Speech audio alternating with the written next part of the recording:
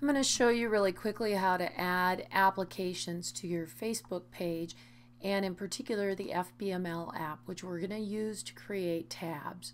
So I'm going to go into applications